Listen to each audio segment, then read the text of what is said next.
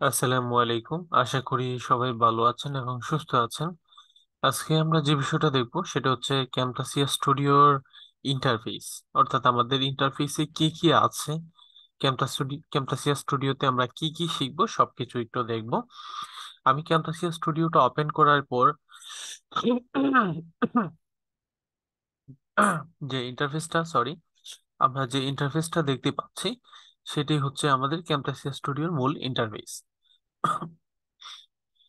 এবার আমাদের প্রথমে যেটা রয়েছে সেটা হচ্ছে মিডিয়া এবং মিডিয়ার এগেনস্টে কিছু লাইব্রেরি আছে।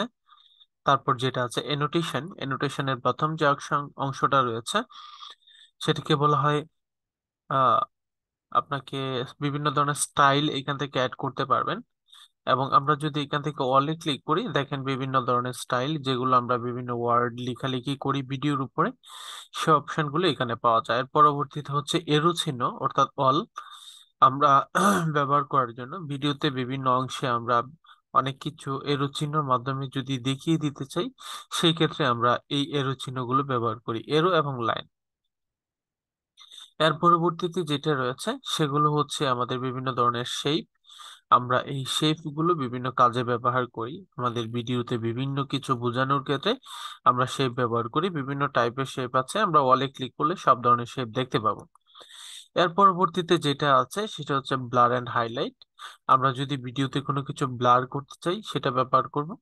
এর পরবর্তী এটা প্রত্যেকটা আলাদা আলাদা এক একটা অংশ। এই যে প্রথমটা যেটা, এটা হচ্ছে ব্লার এরপর হচ্ছে স্পটলাইট এরপরে হচ্ছে আমাদের হাইলাইট এর পরবর্তীতে হচ্ছে ইন্টারেক্টিভ হটস্পট তার পরবর্তীতে যেটা আছে পিক্সেলেট এই ব্যাপারগুলো আমি সূক্ষ্মভাবে আপনাদেরকে একটু দেখাবো। তো সেই ব্যাপারগুলো আপনাদেরকে আমি টোটালি একটা প্রজেক্ট আকারে যখন যাব, তখন আপনারা ক্লিয়ারলি আর বুঝতে পারবেন হ্যাঁ? তো এই হচ্ছে ব্যাপার। এনোটেশনের এই ব্যাপারগুলো আশা করি আপনাদের মাথায় চলে আসছে। এবার আমরা যে ব্যাপারগুলো দেখব, সেগুলো হচ্ছে এখান থেকে ট্রান্সলেশন বিভিন্ন স্লাইডের ক্ষেত্রে ব্যবহার করা হয়। আমি মোটেও এগুলো স্কিপ করে যাচ্ছি না, আপনাদেরকে এক একটা বিষয় নিয়ে প্রজেক্টলি আলাদা আলাদা দেখাবো। তাই জাস্ট বেসিক বিষয়গুলো বলছি। এবার যেটা আছে বিহেভিয়ার এটা হচ্ছে বিহেভিয়ার অপশন এটা এক একটা এক এক রকম ফন্ট হয়। আমি এটা নেক্সট একটা ক্লাসে দেখাবো।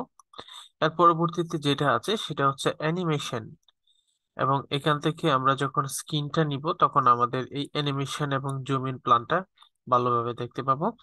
এরপর হচ্ছে কার্সর ইফেক্ট। এই ব্যাপারটা খুবই গুরুত্বপূর্ণ। আমরা যখন ক্যাম্পাসিয়া স্টুডিওর মাধ্যমে কোনো কিছু ব্যবহার করব, তখন আমাদের সেটিং একটা কাজ হবে মানে স্ক্রিনটা যখন রেকর্ড করব, তখন আমরা কিন্তু এখান থেকে একটা অপশন চালু করলে আমাদের কার্সর খুব ভালো কাজ করবে। আবার আসি ভয়েস ন্যারেশন এখান থেকে আমরা ভয়েস ওভার দিতে পারব। এটা খুবই গুরুত্বপূর্ণ একটা ব্যাপার। বা আমরা এখান থেকে লিখতেও পারব recording mute timeline during recording এরপর হচ্ছে ভিজুয়াল ইফেক্ট বিভিন্ন ধরনের আমরা ভিজুয়াল ইফেক্ট এখান থেকে ব্যবহার করতে পারব। আমরা সবগুলোই দেখব। পরবর্তীতে audio effect interactive CC caption এই ব্যাপারগুলো আছে। অডিও ইফেক্টে বিভিন্ন অডিও ইফেক্ট ব্যবহার করা হয়। তারপর হচ্ছে সিসি ক্যাপশন বিভিন্ন ধরনের সিসি ক্যাপশন আমরা যখন কোনো কিছু লিখি, তখন নিচে যা যা লিখতে চাই, সেগুলো আমরা এখান থেকে ব্যবহার করতে পারি। এগুলোই মূলত ইন্টারফেস এর বাহিরে কিছুই নেই। আমরা ফাইলে ঘুরে ফিরে এগুলোই পাবো। নিউ প্রজেক্ট যদি ওপেন করি নিউ প্রজেক্টে ক্লিক দিলে একটা নতুন প্রজেক্ট আসবে, এটা চলে যাবে। এর পরবর্তীতে ওপেন যদি কোনো প্রজেক্ট হালকা কাজ করে রেখে দেই, সেটা আমরা ওপেন করতে পারব। এবং চলমান কোনো প্রজেক্ট যদি সেভ করি, সেটা করতে পারব। প্রজেক্টের বিভিন্ন সেটিং এখান থেকে করা যাবে। যতটা আমরা উপর থেকে করি, আমাদের ইন্টারফেস কেমন হবে স্পেসিফিক সাইজ কিনা, এই যে আমরা এই সাইজ দিলে কেমন হবে, চারশো আশি পিক্সেল দিলে কেমন হবে হ্যাঁ? সবকিছু এখান থেকে আমরা দেখতে পাবো। এই যে এখান থেকে আইপ্যাডের মিনিমাম যে সাইজটা আছে, সেটা দেখাচ্ছে। নর্মালি আমরা হাজার সাতশো বিশ বাই বারোশো আশি এই পিক্সেলটাই ব্যবহার করি এবং কখনো কখনো এক হাজার আশি পিক্সেল বাই উনিশশো বিশ পিক্সেলও ব্যবহার করি। হাওয়ার এটা আমরা ডিপেন্ড করে সেটা হচ্ছে আমাদের কখন আমরা কি নিয়ে কাজ করব, কোন ধরনের আর্টবোর্ড নিয়ে এটা। আর নর্মালি আমাদের ব্যাকগ্রাউন্ড কালারটা হয় ব্ল্যাক আমরা চাইলে যে কোনো কালারও দিতে পারি, তবে ব্ল্যাকটাই সবচাইতে বেস্ট দেন আমি এখান থেকে ক্যান্সেলে ক্লিক দিয়ে দিয়ে এলাম। তো আশা করি এটা হচ্ছে আমাদের আশা করি এই ব্যাপারগুলো আপনারা বুঝতে পেরেছেন। এর পরবর্তীতে যেটা আছে এক্সপোর্ট জিপ কোনো কিছু থাকলে এটা করা যাবে। এক্সপোর্ট ম্যাক এই ব্যাপারগুলো সবগুলো আলাদা আলাদা ভাবে আমি দেখাবো। তো আশা করি আপনি বেসিক ব্যাপারগুলো বুঝতে পেরেছেন। এখানে যেটা আছে, এটা হচ্ছে আমাদের আন্ডু এটা রিডো এটা কাট এটা হচ্ছে আমাদের কপি এটা হচ্ছে পেস্ট আর এটা হচ্ছে আমাদের স্লিপড বলে। অর্থাৎ আমরা কেটে ফেলব যখন দুইটা ভাগ করব, তখন এটা ব্যবহার করা হবে। আর এটা হচ্ছে আমাদের ইন্টারফেসগুলো যদি আমরা অনেক ধরনের লম্বা এবং বড় করতে চাই, এক্ষেত্রে এটা ব্যবহার করা হয়।